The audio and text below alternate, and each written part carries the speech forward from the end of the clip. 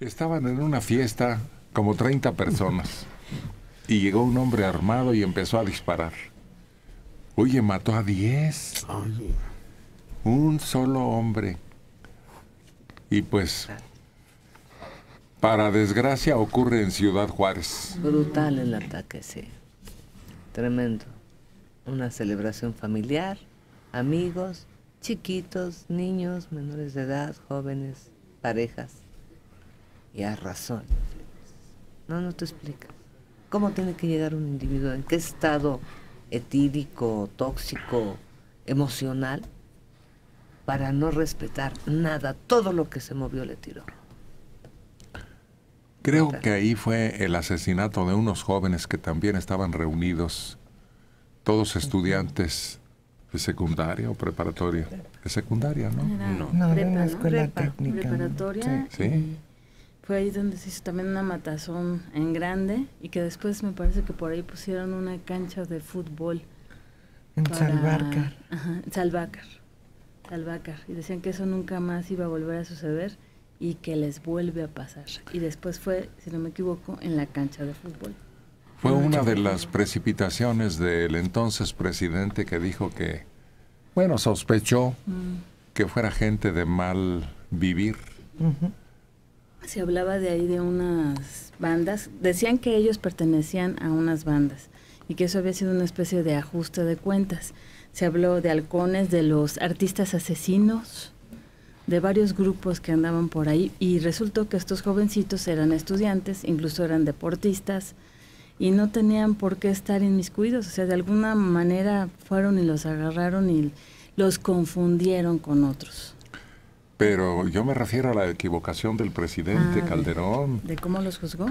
Sí, eh, fueron dos las metidotas de pata, como aquella muerte de una mujer a la que diagnosticó él gastritis aguda y No, había pero- sido víctima de un ataque multitudinario de soldados. No, pero el asunto de la señora que había tenido otros, ot- un ataque fue Fox, Ah, sí. sí. Ah, no le tocó a Calderón. No, Calderón fue el que tacha de delincuentes a estos jóvenes y de- recibe unas críticas tremendas.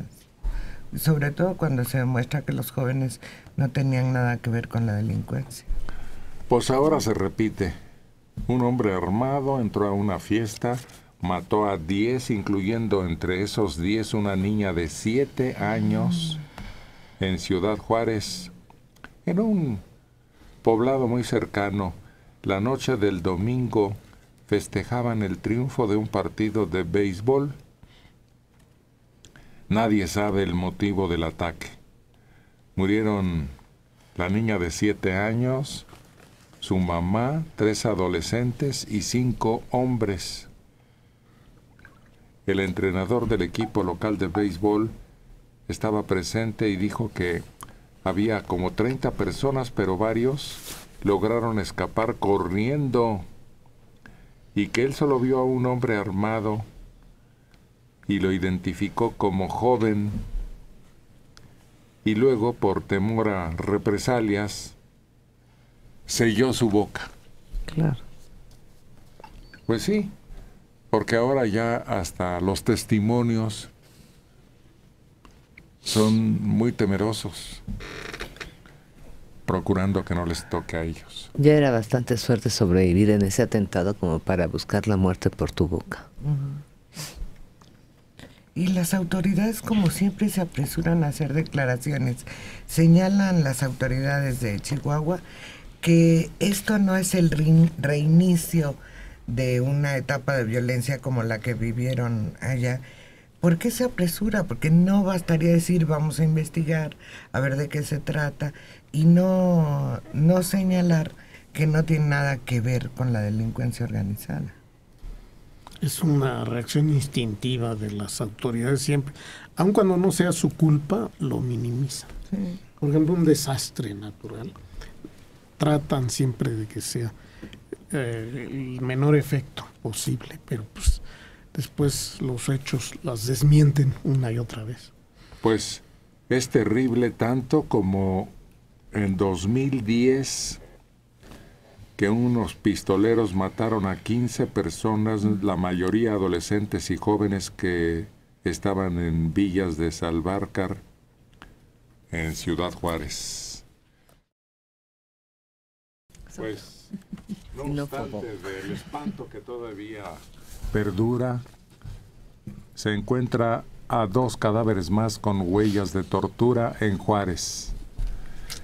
Se han reportado varios homicidios, entre ellos masacre contra un equipo de béisbol y agentes localizaron los cadáveres de dos hombres con severas huellas de tortura en un paraje ubicado en el Cerro del Caballo de Ciudad Juárez, Chihuahua.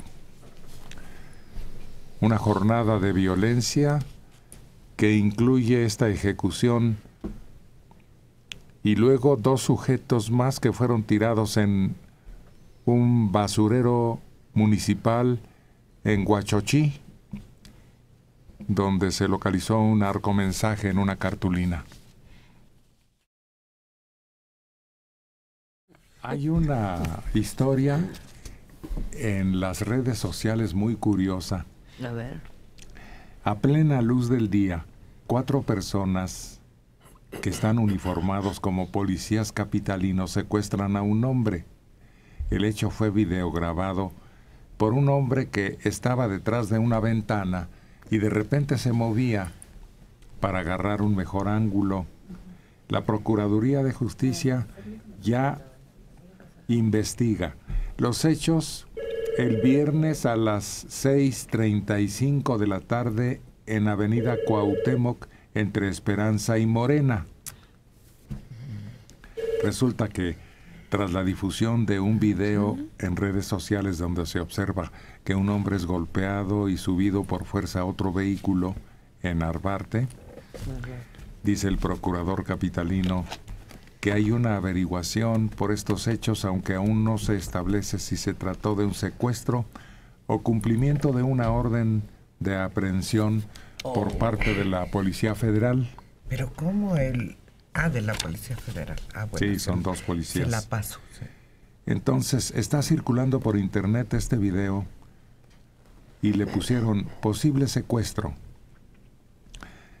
Se supone que es un colombiano secuestrado por varias personas, entre ellos supuestos policías. El video se aprecia mostrando cuatro sujetos, entre ellos dos que parecen agentes de motocicleta que traen vehículos oficiales y uniforme también. Bajan, suben a este hombre a una camioneta en la en plena avenida Cuauhtémoc. Y en el interior del vehículo porque ya después averiguaron que había un coche abandonado, se encontraron documentos de parece de al parecer una persona de nacionalidad colombiana. Entonces Ríos Garza, el procurador, dice que no hay registros de arrestos de la persona desaparecida cuya identidad tampoco se reveló y se está investigando. Pero un arresto de cualquier cualquiera sea la policía que lo haga, no se deja ahí el auto de la persona arrestada. y con las luces prendidas y las puertas abiertas. Sí, no, no es, es algo terrible. Y alguien que estaba detrás de una ventana captó el momento completito, toda la acción. Pero, además... Se oyen voces incluso de una muchacha y dos jóvenes. Es que es una zona de mucho movimiento, es una hora en la que se, se, intensifica el tránsito y las mm. personas que salen de trabajar, pues está... Hay metro, hay metrobús en la, siguiente calle. No, el metro está hasta el... Por eso es Morena, Esperanza y Xola. O sea, está muy cerca. Es muy transitado, hay metrobús también hay mucha vigilancia. Eh, calles antes está la octava delegación, pasando el viaducto. Calle antes. Una calle antes. Sí, sí, sí. Porque la delegación está en Obrero Mundial. La que sigue es Morena y la que sigue es Esperanza. Esperanza, sí. Es una zona con mucha vigilancia, muy buena iluminación, transitada. Para exponerse a ese grado, pues, yo pensaría en un levantón, ni judicial ni preventiva. Yo pensaría en un levantón. Y de aquí lo que hace más dramática la situación es que se trata de un hombre colombiano, que escuchas Colombia como ellos escuchan México y inmediatamente haces el contacto de drogas.